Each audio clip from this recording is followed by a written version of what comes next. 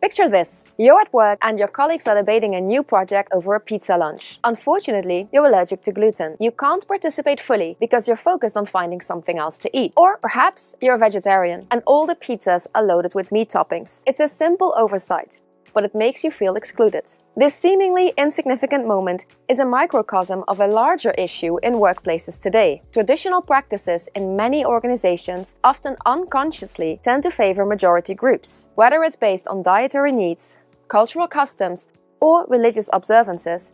These little oversights can result in some team members feeling left out. People who don't feel included in the work culture will feel less satisfied and engaged in their work and be absent more often. This is a one-way ticket to losing valuable employees. Hi, I'm Nelly, and in this Learning Bite, you will learn about diversity and inclusion, its benefits, and five best practices to make your organization more diverse. But before we dive in, smash that like button, subscribe to our channel, and turn on the notification bell.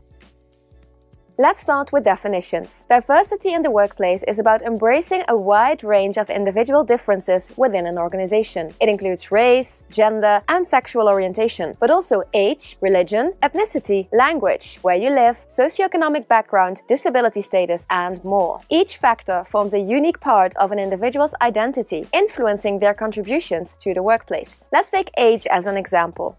In every organization, you will have different generations of people working together. You have younger employees who only recently joined the workforce, who bring in fresh ideas, and they may be eager to try out new concepts. On the other hand, you have employees with decades worth of experience. Both groups have different strengths that complement each other and can create an inclusive, dynamic, and productive work environment. And, of course, most people carry different identities. For example, an employee could be a young, disabled woman of color. She has had unique lived experiences based on the intersect of her age, disability, gender, and race. These overlaps of identities is what we call intersectionality. These unique lived experiences help an organization understand its customers better. This is one of the individual benefits of D&I in the workplace, but there are many more. Employees who have a strong sense of belonging at work, love their job, are happier in their role, feel safe, and take care of their physical and mental well being. On the team level, a stronger sense of belonging helps people share their opinions more freely. Also, a culture where everyone's ideas are valued leads to greater innovation and problem solving. On the organizational level, employees who feel like they belong at work rarely think about switching jobs and are the most productive. So, diversity and inclusion is about making both employees and the business thrive. Let's now dive into five best practices and strategies for fostering diversity and inclusion. Our first best practice is to lead by example. D&I efforts should start at the top a leadership team committed to D&I can set the tone for the entire organization, and the numbers prove it. Inclusive leaders can boost employees' feeling of inclusiveness by a whopping 70%. Imagine feeling 70% more welcome at work every day. But the benefits of inclusive and committed leadership don't stop there. Leaders committed to D&I can increase team performance and team collaboration, as well as improve decision-making quality. Research has found that committed leaders across countries share six core traits. First, they show visible commitment by openly discussing diversity and keeping others accountable. Second, they show courage by admitting when they are wrong and seeking the contribution of experts. Third, they are aware of bias and put transparent processes in place and follow these processes themselves. Fourth, committed leaders are curious and actively seek perspectives and opinions different than their own. Fifth, they show cultural intelligence by actively learning about different cultures and adapting their communication style for cross-cultural encounters. And lastly, they are collaborative and empower employees to make individual decisions about issues that impact their work. HR can play a key role in enabling leaders to show these qualities in the organization. Next, let's zoom in on unbiased recruitment and hiring practices. Every one of us is biased. We naturally gravitate towards people with similar experience and backgrounds. In recruiting, this means that you might unconsciously like the candidate who went to the same college, lives in the same neighborhood, or is into the same sport. This is why it's important to be aware of your own bias when hiring and sourcing new employees. Using unbiased recruitment practices will help correct bias by hiring based on skills and experience rather than personal preference. An example of this is blind hiring, which is the process of evaluating candidates without knowing any of their personal information, such as their name or gender, for instance. Other examples include establishing diverse interview panels, which help to reduce bias, or blind auditions that are now common practice for orchestras. Here, the performer is concealed, so the judges only hear the music and don't see the performer to prevent bias.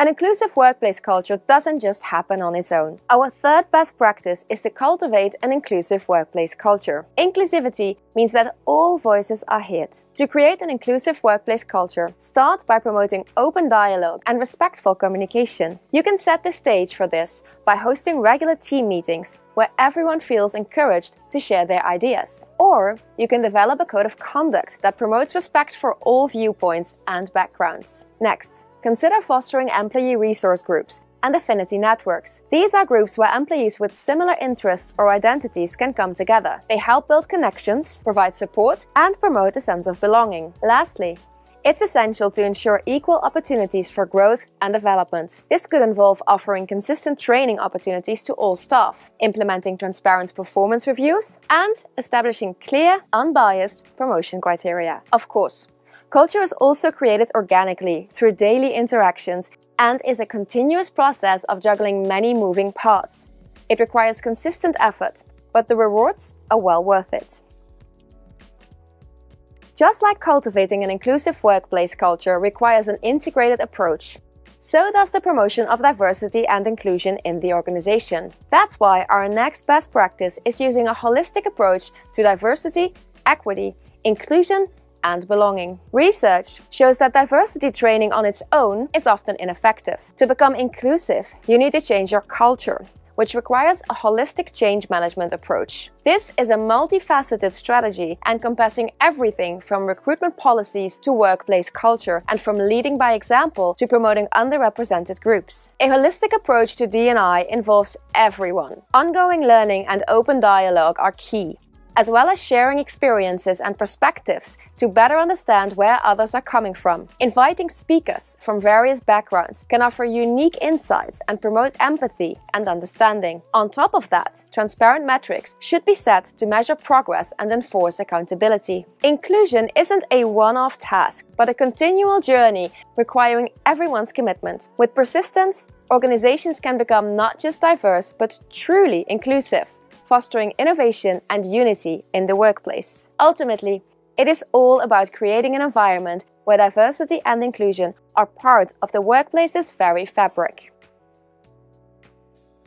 Finally, we have inclusive communication. Language is a living thing, and it evolves with time, but it also reflects bias and preconceived notions. Think about the word businessman or fireman. These terms imply that these professions are exclusively represented by men, which is not the case. By using these terms, we automatically exclude half of the world population who could make great contributions to these professions. Using inclusive language is an easy way to show respect and understanding to your employees. Here are some examples. Avoid using terms that diminish an individual's capabilities. For example, rather than saying someone is disabled, say they have a disability. Be inclusive when referring to race, ethnicity, and religion by using inclusive terms such as BIPOC, Black, Indigenous, and People of Color, or multi faith. Encourage staff to refrain from using gendered words like the guys, chairman, or cleaning ladies, which can lead to exclusion. On top of that, establish a culture of continual learning and adaptation to keep up with the evolution of inclusive language. And there you have it. In today's Learning Bite, you've learned about diversity and inclusion and why it's important for any organization. As you can see, there's no one size fits all solution. D&I is all about combining different approaches and making continuous efforts towards an inclusive workplace. Of course, D&I is far more complex than this and cannot be completely explained in one video. But if you want to learn more about it, we got you covered. Check out our Diversity, Equity, Inclusion and Belonging or DEIB certificate program. This program will teach you everything you need to know to create an inclusive and safe workplace for all. Before you go, don't forget to like this video, subscribe to our channel and click the notification button. See you next time. Bye!